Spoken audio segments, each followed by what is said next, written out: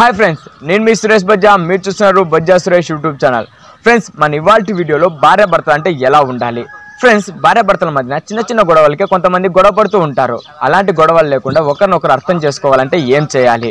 Friends వీడియోలోకి వెళ్ళే ముందు మీకు ఒక చిన్న రిక్వెస్ట్. మీరు కనుక ఇదివరకు మన ఛానల్ సబ్స్క్రైబ్ చేసుకోకపోతే కింద కనిపిస్తున్న రెడ్ కలర్ సబ్స్క్రైబ్ బటన్ మీద క్లిక్ చేయండి. మరియు పక్కనే ఉన్న బెల్ ఐకాన్ మీద క్లిక్ చేయండి.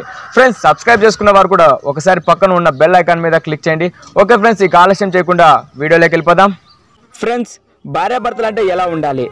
ఒకరి పట్ల మరొకరి ప్రవర్తన ఎలా ఉండాలి అని మన ధర్మం పురుషుని కోసం మరియు స్త్రీ కోసం నీతి శాస్త్రం నిర్వచించిన ఆరు ధర్మాలను సంస్కృతంలో ఇలా చెప్పబడింది. మొదట భార్య గురించి. కారేషు దాసి కరణేషు మంత్రి. రూపేచ లక్ష్మి క్షమయా దరిత్రి భోజేషు మాత శయనేషు రంభ షట్కర్మయుక్త కులధర్మ పత్ని. ఈ శ్లోకం యొక్క అర్థం కారేసు దాసి భార్య పనులు చేయడంలో దాసిలాగా బద్దకించకుండా పొద్దికగా ఒద్దికగా నిదానంగా పనులు చేయాలి.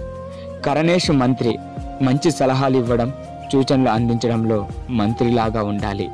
రూపేచ లక్ష్మి రూపంలో లక్ష్మీదేవిలాగా ఎల్లప్పుడూ కలకలలాడుతూ చిరునవ్వు చిందిస్తూ సంతోషంగా ఉండాలి. క్షమయా దరిత్రి కష్ట సమయంలో కుటుంబ నిర్వహణలో భూదేవి అంత ఓర్పును కలిగి ఉండాలి. తొందరపడి ఏ పని చేయకూడదు.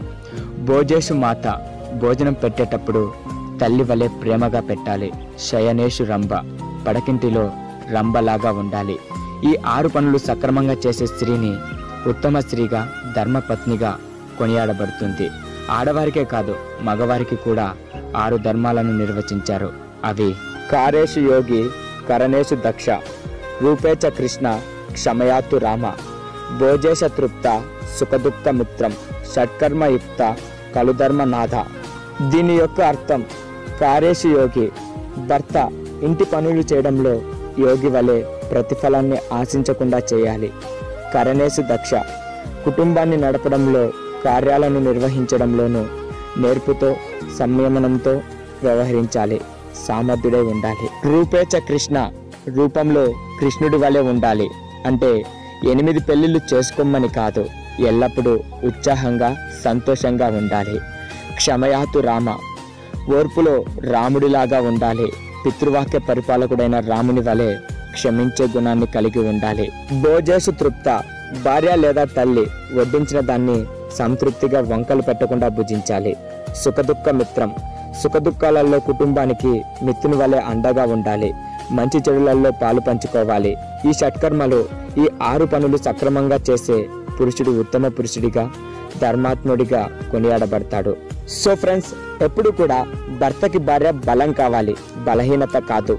భార్యకి భర్త భరోసా కావాలి. భారం కాకూడదు. భార్య భర్తల అనుబంధం అన్యోన్యం కావాలి. అయోమయం కాకూడదు. ఆలోచించండి. ఫ్రెండ్స్ వీడియో చూసారు కదా? మీరు కనుక ఇలా మీ భర్తతో లేదా భార్యతో ఉంటే మీ మధ్యన ఎలాంటి గొడవలు ఉండవు. ఓకే ఫ్రెండ్స్ మన వీడియో కనుక మీకు నచ్చినట్లయితే లైక్ చేయండి షేర్ చేయండి కామెంట్ చేయండి. అలాగే మర్చిపోకుండా సబ్స్క్రైబ్ మళ్ళీ మర్చిపోవద్దు. పక్కనున్న బెల్ ఐకాన్ని క్లిక్ చేయడం. Okay friends thank you thanks for watching